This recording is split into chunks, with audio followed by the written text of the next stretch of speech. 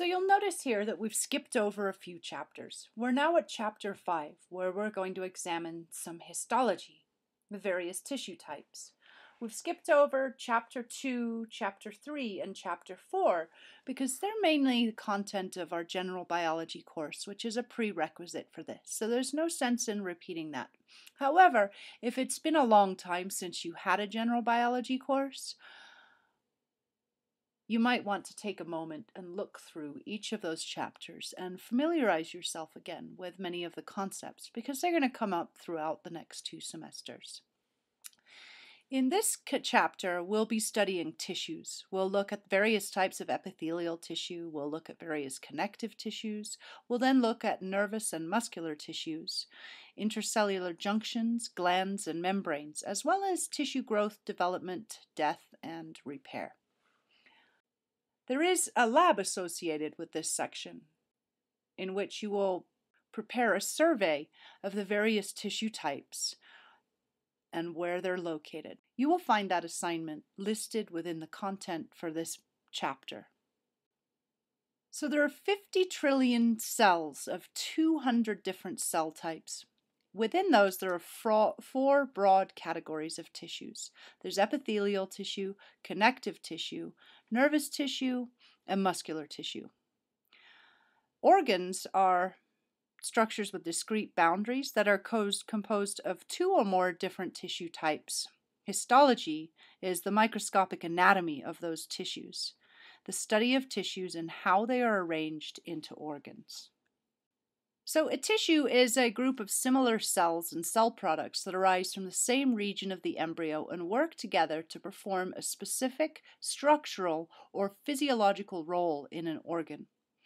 Four primary tissues differ from one another in the types of functions of their cells, the characteristics of the matrix, the extracellular material, and the relative amount of space occupied by cells versus matrix. Tissue is composed of cells and matrix. All tissue is composed of cells and matrix. The matrix is composed of fibrous proteins and then a clear gel, anywhere from liquid to solid, that's known as ground substance. So, in any tissue, we're going to find cells and matrix, which is a composition of fibrous proteins and clear gel liquid like solution called ground substance. So humans begin development as a single cell, the fertilized egg. this divides to produce scores of identical similar cells. First, tissues appear when these cells start to organize themselves into layers. First, there are two layers, and then three. There are three primary germ layers. And we won't get into too much detail here, as this is the content of the end of next semester. Ectoderm is the outer layer. Ecto, the root meaning outside, and it gives rise to the epidermis and the nervous system. Endoderm endo as in inside, is the inside layer, and it's going to give rise to the mucous membranes and linings of digestive and respiratory tracts, the digestive glands, and many other things. In between these two layers, you'll find the mesoderm. Mesoderm means middle, becomes a gelatinous tissue called mesenchyme, which has wispy collagen fibers and fibroblasts in a gel matrix.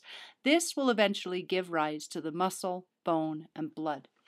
You can think of it this way.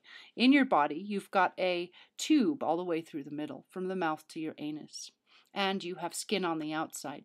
Anything that's close to the outside is probably derived from ectoderm, and anything all the way down the middle, like the gut tube, is going to probably arise from mesoderm.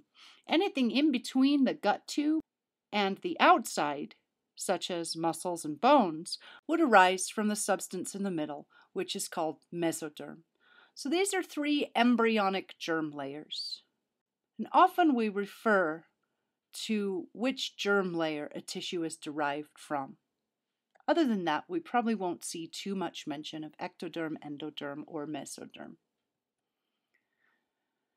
Now, it's difficult sometimes to interpret tissue sections because they're prepared in slices. There are fixatives that are placed on them to prevent decay, such as formalin. And in these thin slices, it's difficult to tell where you are within a cell. Some of the cells are going to be stained in order to help us visualize them, like pink or blue. And this is artificial coloring.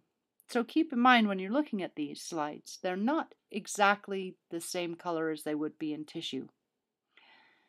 Sectioning reduces a three-dimensional structure into two-dimensional slices, and this is why it can be sometimes hard to find your way around on histology slides. For example, if you look at this egg here, um, and it has a yolk right in the middle, but depending on where we make the slice through the egg, we may or may not get the yolk in our section. In a similar way, depending on where we slice the tissue, a cell may not get the nucleus in its slice or any of the other organelles that you're looking for.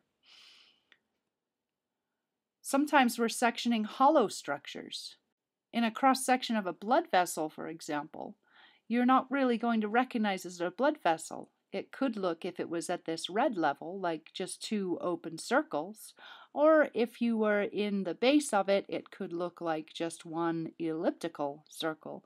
So we have to use our imagination a little bit to reconstruct the three-dimensional structure in these histology slides. A longitudinal section, for example, of a sweat gland, could just look like this. You wouldn't necessarily know that that was a sweat gland with a naive eye. However, after a bit of practice, you can begin to visualize these things more clearly. Now, there are various types of tissue sections. There are longitudinal sections, which is where tissue is cut along the direction of the organ. There's a cross section or transverse section, which is where the tissue is cut perpendicular to the length of the organ. And sometimes an oblique section, where the tissue is cut at an angle that's somewhere between cross and longitudinal section. This also can add to the mystery of what we're looking at in these histology slides. There are also non-section preparations, things like a smear, which is when a tissue is rubbed or spread across the side. For example, in blood, we'll do a smear to examine the content.